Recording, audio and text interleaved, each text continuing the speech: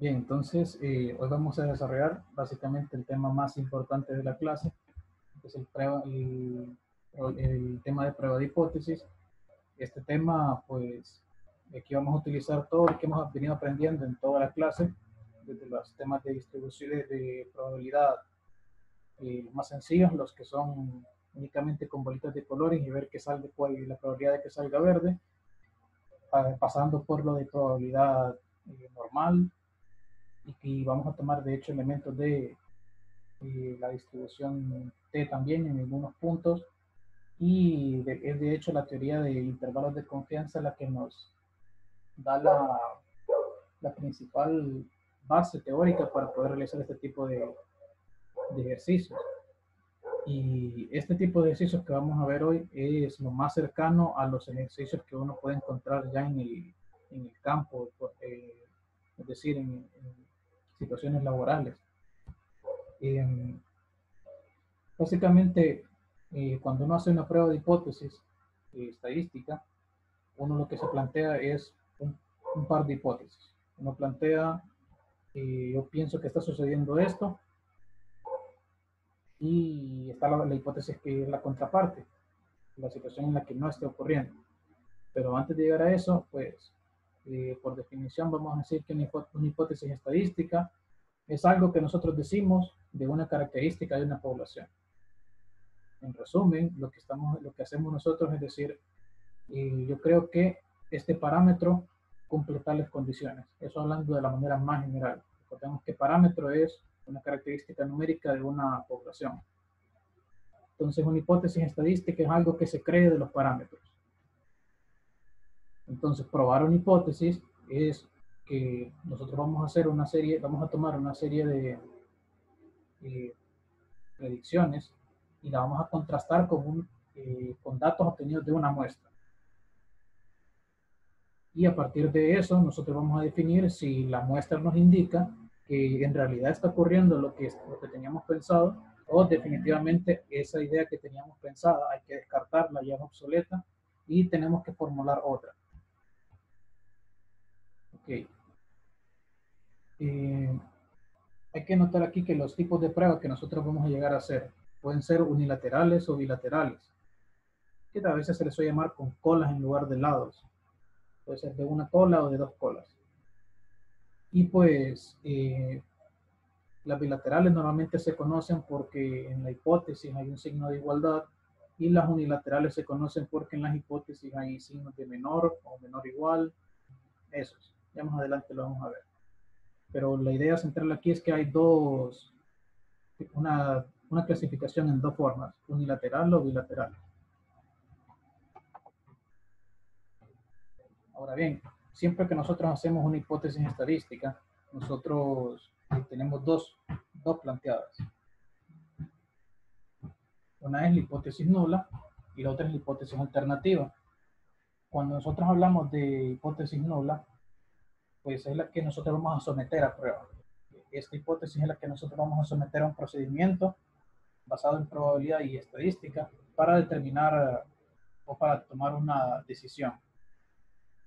Ahora, el juego de palabras, por decirlo así, es que nosotros formulamos la hipótesis nula con el propósito de que esa hipótesis nula sea rechazada.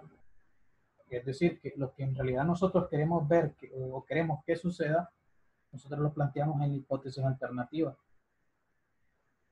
Repito, lo que nosotros queremos que suceda, lo colocamos en la hipótesis alternativa. Y lo, opuesto a eso para, va a ser la hipótesis nula. Entonces eso hay que tenerlo siempre porque siempre hay esa confusión. En hipótesis nula ponen lo que está en la pregunta y en realidad eso era la alternativa.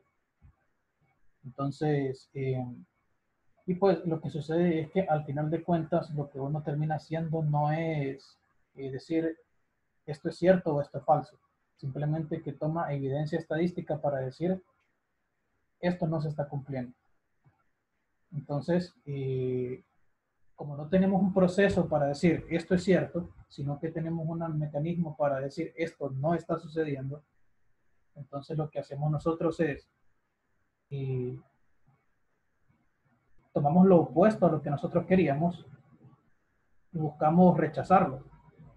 Entonces, eh, no sé si me siguen el juego de, de, palabras ahí. Si rechazamos lo que no queremos, al final nosotros nos quedamos con lo que sí queremos, ¿verdad? Esa es la idea central en este desarrollo de, en este procedimiento que vamos a realizar, que vamos a intentar rechazar lo que no queremos para quedarnos con lo que inicialmente nos interesa. Ahora bien, ¿cómo vamos a formular estas hipótesis? Y ya les comentaba la primera que eh, la conclusión a la que queremos llegar, nosotros la planteamos como hipótesis alternativa. Y bueno, esto de hecho debería ir de siguiente. La hipótesis nula y la alternativa son complementarias, es decir que no hay ningún caso que quede fuera de esas dos. Sea que si yo digo, ah, yo creo que la media es eh, igual a 5, eso lo utilizaría como hipótesis alternativa. Y lo opuesto sería que no fuese igual a 5. Y eso sería la nula. Vamos a entrar en detalle más adelante, pero para hacer una idea. Ahora bien, la hipótesis alternativa uno la plantea con estos símbolos, con el, diferente o no es igual que, con el signo, el símbolo de mayor que o el símbolo de menor que. Uno de estos tres nosotros lo utilizamos para las hipótesis alternativas. Y la nula, como es el, lo complementario, si en, hipótesis alternativa pongo no es igual, en la nula tengo que poner sí es igual. Si en hipótesis alternativa tengo que algo es mayor, entonces en la nula es menor igual, que es lo opuesto. Y así con el tercero, que si yo tengo que en mi hipótesis alternativa, lo que yo quiero es menor que algún número, en la nula voy a poner lo complementario, que es que sea mayor o igual. Entonces, este orden en el que van aquí es importante recordarlo para saber a qué se asocia cada uno. Pero estos son los símbolos en, total que vamos a estar utilizando. Ahora bien, supongamos que nosotros ya nosotros hicimos una, una prueba de hipótesis y ya determinamos qué, qué sucedió. Analicemos lo posterior a ello, los resultados. Entonces, tenemos una hipótesis eh, nula, esta H0, que nosotros la ponemos en a prueba. Vamos a ver si la rechazamos o no la rechazamos. Entonces, ven que hay dos situaciones. Primero, está la situación de que esa hipótesis puede o no ser verdadera. Y independientemente de eso, la hipótesis, ¿la rechazamos o no la rechazamos? Así que al final nos quedan una combinación de dos y dos, entonces esta la vamos a representar en este cuadro. Entonces, ¿qué pasaría si mi hipótesis nula en realidad es verdadera y no la rechazo. Si es verdadera y no la rechazo, significa que tomo una decisión correcta. El otro extremo, ¿qué pasa si es falsa? Es decir, no se está cumpliendo la hipótesis nula y yo la rechazo. Entonces estoy tomando también una decisión correcta. Y luego están las otras dos situaciones, que son llamadas error tipo 1 y error tipo 2. Para comprender a fondo este cuadro, vamos a tomar una situación muy típica en el, ámbito de derecho. Imagínense que todos nosotros formamos parte de un, eh, un jurado y estamos pues en el juicio de una persona a la que se le acusa de homicidio, por poner un delito. Entonces, hay cuatro situaciones que pueden ocurrir que la persona en el que está siendo acusada sea culpable y nosotros lo declaremos culpable. Eso es que H0 sea verdadera y no rechazamos H0. Esa es una decisión correcta. Y por el otro lado, si es inocente y nosotros no lo declaramos culpable, entonces, decisión correcta también. Lo complicado está cuando empezamos a mezclar las situaciones. ¿Qué pasa si la persona que está sentada ahí es culpable y nosotros eh, declaramos que es inocente. Sería este caso. Es culpable, pero nosotros dijimos que no, que no es culpable. Entonces ahí claramente hay un error porque ya nos equivocamos. Y pues es un error porque entonces la persona que eh, cometió el, homicidio, pues está, o el asesinato está libre. Y sin duda es un error que considerar. La otra situación, ¿qué pasa si la persona que está ahí es inocente y la declaramos culpable? En ese caso tenemos un error tipo 2 y este error tipo 2 suele ser más grave que el error tipo 1. Y en el ejemplo que les estoy dando eh, se mantiene la, la analogía, porque si nosotros dejamos libre al final a alguien que eh, si era culpable, pues lo que tenemos es que el asesino está libre, sigue estando en la calle, puede cometer otro. Ahora, ¿qué pasa si alguien que es inocente lo declaramos culpable? Aún tenemos que el asesino está fuera y además eh, condenamos a alguien que no debería estar ahí. O sea que hay más error todavía. Entonces, por eso cometer ese error tipo 2 suele ser más grave todavía.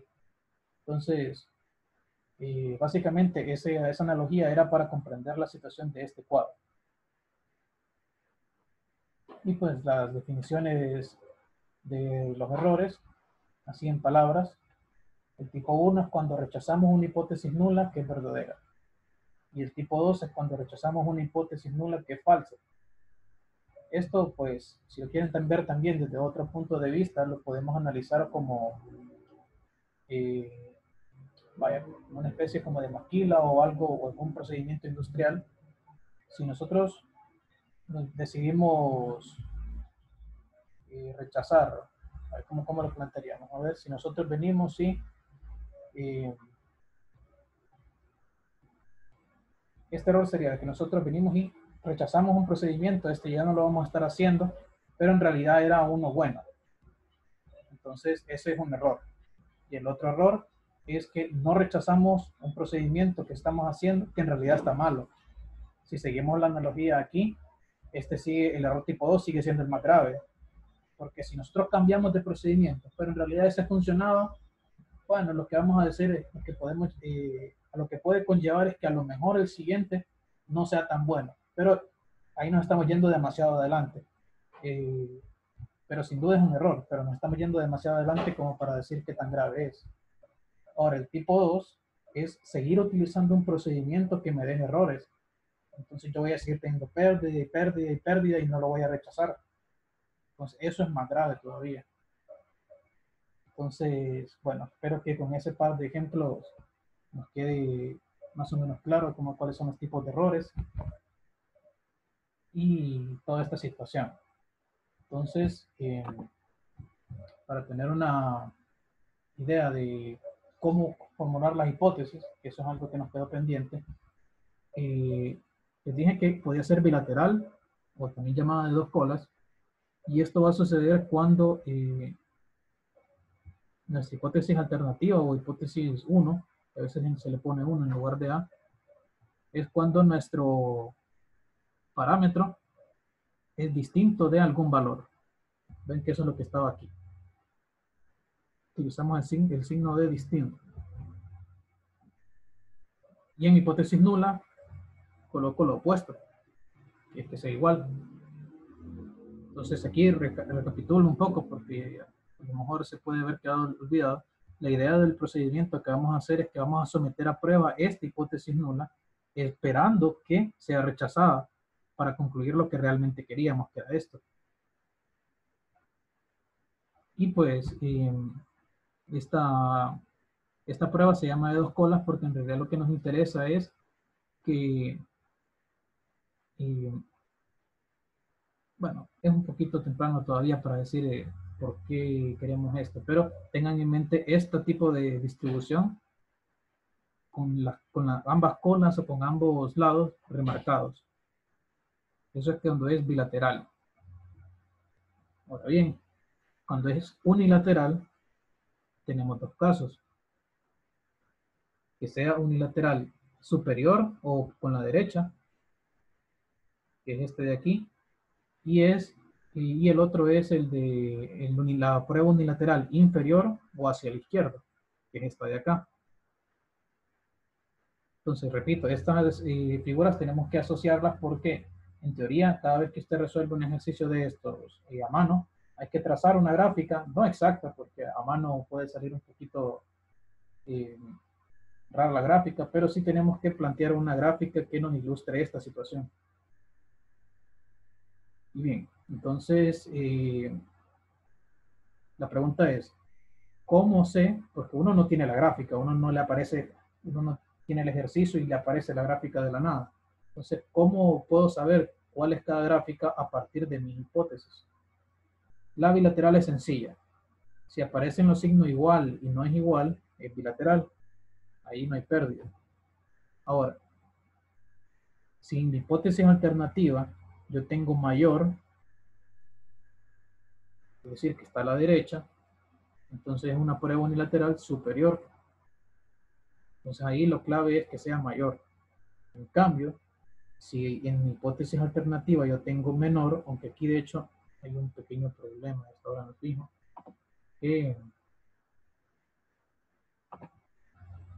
aquí en la hipótesis no la tengo igual y en realidad es menor o igual.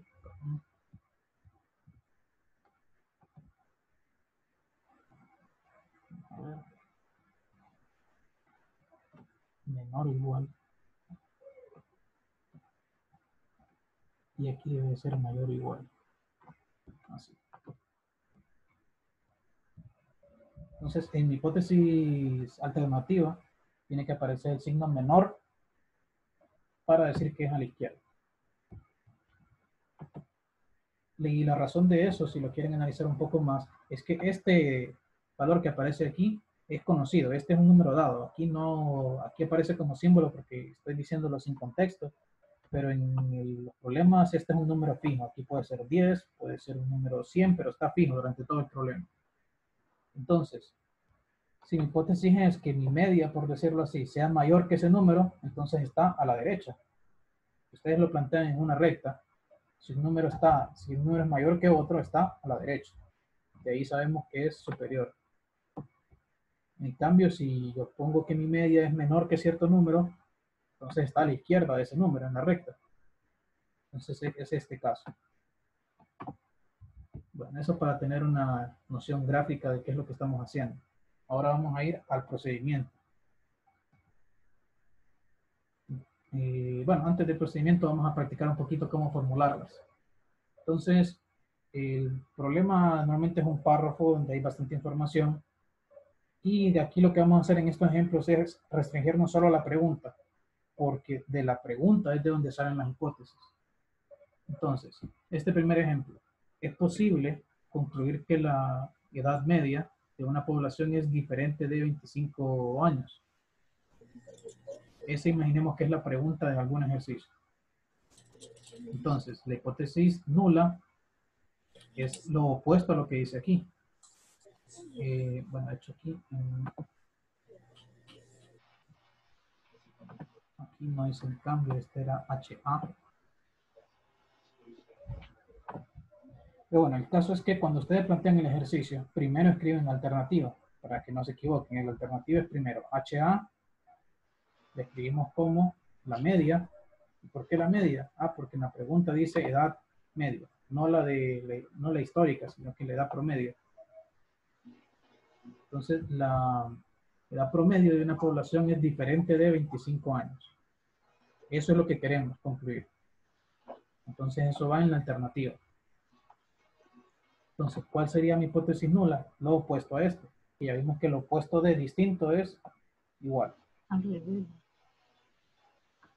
Entonces, eh, nosotros tenemos que, estas dos, son mis hipótesis y el tipo de prueba es bilateral. ¿Por qué bilateral? Bueno, eso ya lo vimos antes. La bilateral es así, de esta forma. Cuando aparece el distinto y el igual, es bilateral. Son, es bilateral la prueba. Ok. Ahora, este. imaginemos que en otro ejercicio ahora se pregunta que si es posible concluir que los pesos de los recién nacidos vía cesárea en un cierto hospital son mayores que 3.100 gramos. Queremos concluir esto. Si esto es lo que queremos concluir, eso es la hipótesis alternativa. Vamos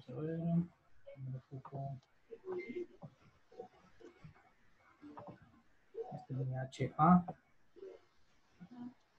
Es importante que si, si, ustedes están tomando notas, que este le pongan HA. Es HA minúsculo, de hecho. HA. O le pueden poner H1 también, así como en las imágenes estas. Pero normalmente usamos HA. Alternativa es HA, que la media, los pesos promedio es mayor que 3100 gramos. Entonces la nula, que es lo opuesto a esto, es lo opuesto de mayor, es que sea menor o igual. Así que básicamente lo que terminamos haciendo es escribiendo esto y de ahí identificando cuál es lo opuesto a este dato de aquí, a este símbolo. Que eso ya está dado. Eh, aquí lo hicimos antes. Aquí están, en el mismo orden, los que son opuestos. Entonces de aquí ustedes toman nota de eso y ya no se les olvida. Igual la presentación queda en la plataforma, así que lo pueden revisar luego, si quieren tomar la punta más a detalle. Bien, entonces, formuladas las hipótesis, concluimos que es unilateral superior. Es unilateral superior porque el signo es mayor. Quiero que la media sea mayor que 3100, entonces la media está a la derecha. Entonces, si está a la derecha, es superior. Y bien, el tercer ejemplo de hipótesis, ahora queremos ver si es posible concluir que la altura media de una población de mujeres es menor que 63.8 pulgadas. Entonces, de nuevo, justo lo que dice la pregunta, menor que 63.8 pulgadas es lo que va en la alternativa.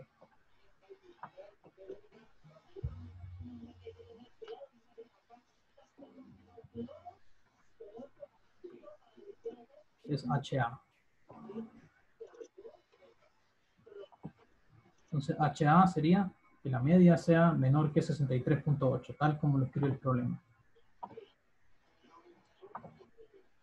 Y entonces la, hipótesis nula sería lo opuesto. Lo opuesto de menor es mayor o igual. De ahí es exactamente lo mismo. hipótesis nula es que la media sea mayor o igual que 63.8. Y este tipo de prueba es unilateral inferior porque el signo menor. Si mi media es menor que 63.8, está a la izquierda de 63.8. Entonces es unilateral inferior. Ok. Entonces ya revisamos más o menos cuál va a ser el procedimiento para eh, construir nuestras hipótesis. Construir nuestras hipótesis siempre es lo primero que hacemos. De ahí eh, necesitamos el estadístico de prueba.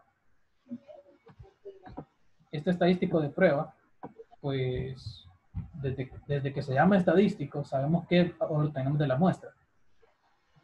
Y pues este es el que nos sirve para decidir al final si vamos a rechazar o no la hipótesis nula.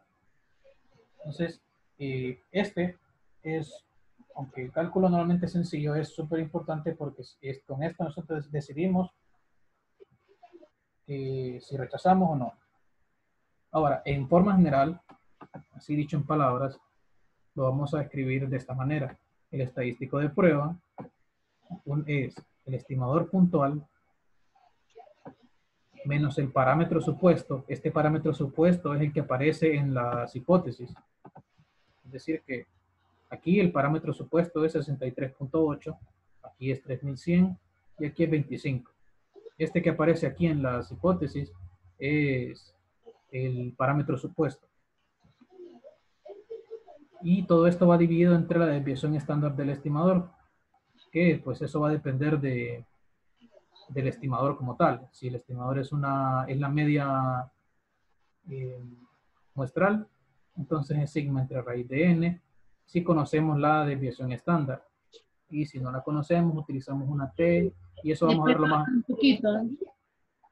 ¿Bien? Disculpe. Oh, no, no hay problema. Entonces, eh, y estábamos en que hoy vamos a utilizar básicamente esto. Ya mañana vamos a ver otros casos. pero este es el caso del de, estadístico de prueba, ZP, para la media muestral. Entonces el estimador puntual de la media es esta media muestral. El parámetro supuesto solo lo llamé eh, media mu, eh, sub 0. Y esta desviación estándar del estimador es la desviación estándar de la media muestral, que de hecho creo que no le han subido el cuadro, ¿verdad? Ahorita que me acuerdo. Si no, no se los he subido, se los voy a hacer ahorita después de la clase. Donde están todos los estimadores y las desviaciones estándar. Entonces, eh, pero bueno, todas estas ya las hemos visto cómo calcularlas. Lo que no lo tenemos es en un solo cuadro. Entonces, vamos a ver. Este estadístico de prueba se calcula de esta manera y pues, más, más allá de eso, lo único que podemos decir es, es un valor numérico y lo vamos a utilizar luego. Ahora bien, necesitamos tomar una regla de decisión. ¿Qué es eso? Pues primero nosotros vamos a considerar una distribución estadística, que es la distribución normal, la Z, o la distribución T de Sturen. Que son las dos que hemos utilizado más frecuentemente. Y ahí eh, va a haber una, eh, la recta, toda la recta de los números reales, de, la, se va a dividir en dos secciones. Una de esas secciones la vamos a llamar región de rechazo y la otra región de no rechazo. La región de rechazo son los valores que tienen menor probabilidad de ocurrir. Es decir, que esta región de rechazo tiene esta propiedad. Todos los valores que están en la región de rechazo tienen poca probabilidad de ocurrir. Y la región de no rechazo son los que tienen mayor probabilidad de ocurrir si la hipótesis no es verdadera. Ahora, eh, ¿cuál es el sentido de esto? si mi, si mi estadístico de prueba cae en mi región de rechazo, es decir que, imagínense que ustedes eh, toman una muestra y calculan su estadístico de prueba y encima cae dentro de los valores que tienen poca probabilidad de ocurrir, eso significa que mi hipótesis nula no es correcta, no se asocia con lo que está sucediendo en la realidad. Ese es más o menos el sentido. Y en la región de no rechazo, es simplemente, bueno, si mi estadístico de prueba cae en mi región de, no rechazo, significa que es, lo que esperábamos, es lo normal, y por eso no rechazamos. Entonces, aquí es lo clave para decir no rechazo en lugar de aceptación. Si decimos aceptación aquí, o estaríamos diciendo que algo es verdadero. Y en realidad no necesariamente tiene que ser verdadero, porque Aquí caen si tienen la mayor probabilidad de ocurrir, pero no, no está seguro. Pero bueno, el caso eh, es que eh, tenemos estas dos regiones y el valor o los valores, porque a veces hay dos, el valor o los valores que separan estas dos regiones se llama valor crítico y esto es lo que nos interesa.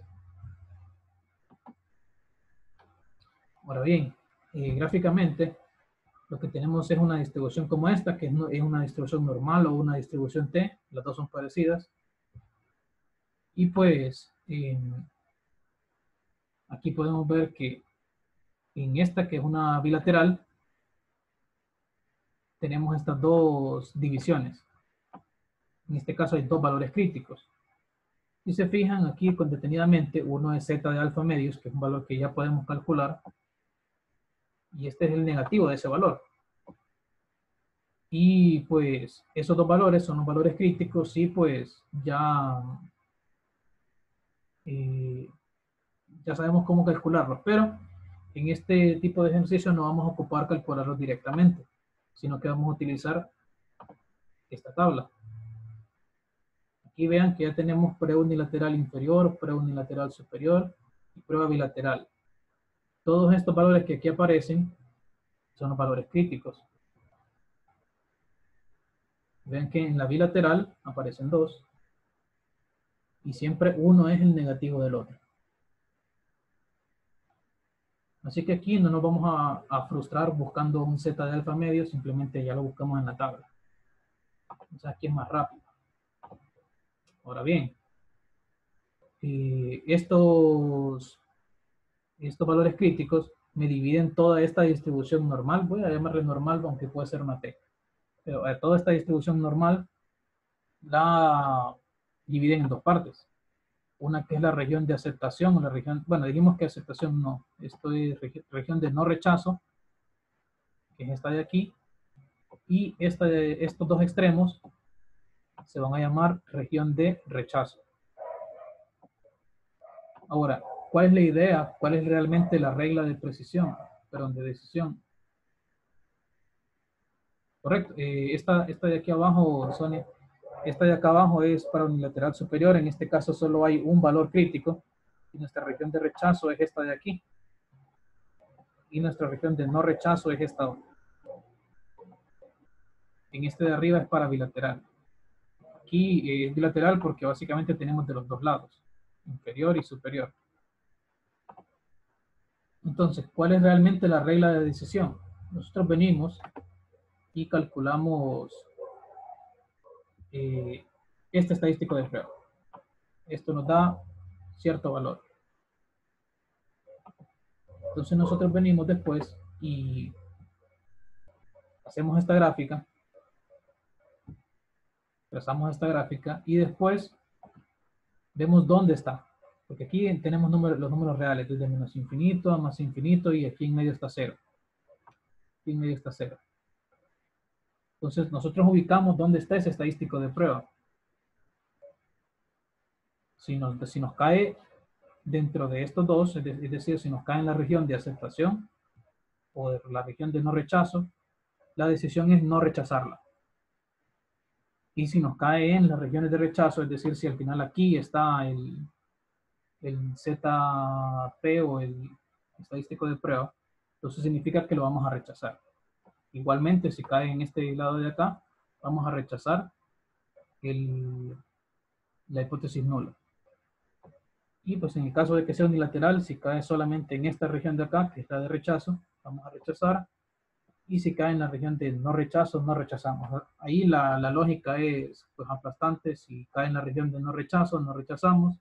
Y si cae en la región de rechazo, rechazamos. Entonces lo que hay que recordar aquí es que lo que tenemos que ver dónde cae es el estadístico de prueba. El estadístico de prueba vemos a dónde cae.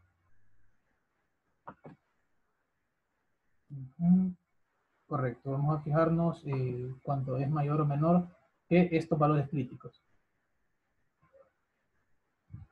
Bien, y vamos a ver más detalles en los, en los, en los ejemplos. Ahora, ¿cómo vamos a utilizar la tabla? Eh, o cómo vamos a calcular ese valor crítico. Entonces necesitamos primero el tipo de prueba, porque veamos que según el tipo de prueba, tenemos tres filas, uno para cada tipo de prueba. Así que necesitamos primero determinarlo, ver el tipo de prueba, si es bilateral, unilateral superior o unilateral inferior. Tomamos la significancia, esta significancia siempre está dada en cada ejercicio. En algún punto del ejercicio está y es la probabilidad de cometer el error tipo 1. Entonces ese dato ya está dado. Y en el caso cuando sea en una distribución T, ocupamos los grados de libertad que siempre es n menos 1. Eso ya lo hemos visto en, la distribución en los temas pasados. Y luego buscamos el resultado de la tabla. Y antes de continuar,